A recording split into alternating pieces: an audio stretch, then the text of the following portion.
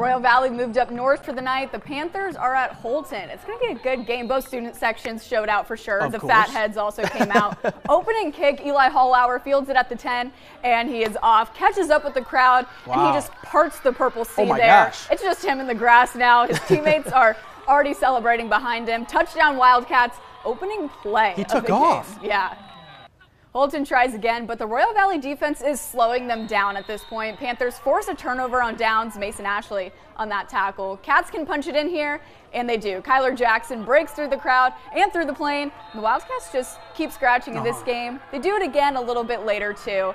This time, Kill Frazier gets the call. Holton wins this one 34 to 9.